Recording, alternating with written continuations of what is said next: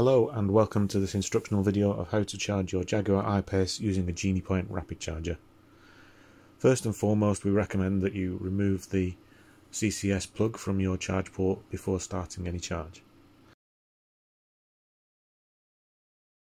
Then using your mobile phone go to the GeniePoint website and having logged into your account select the start a charge option.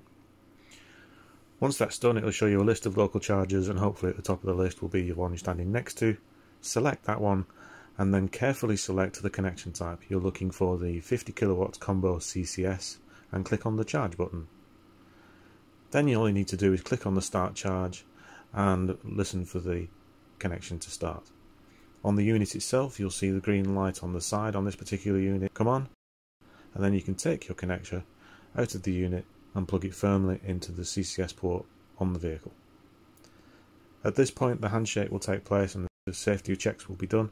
This can take up to a minute and is shown in real time here to give you an idea of how long it can take.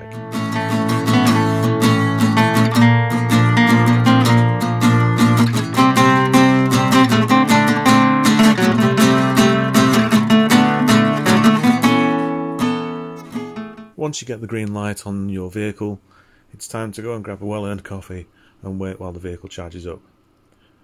While that's happening, you can view the charge on your mobile phone, and once you've finished, you need to click on the stop button at the bottom right hand side of that screen. That'll send a signal to the charge unit, and then you'll have up to 30 seconds to unplug your vehicle, so do this while you're next to the unit.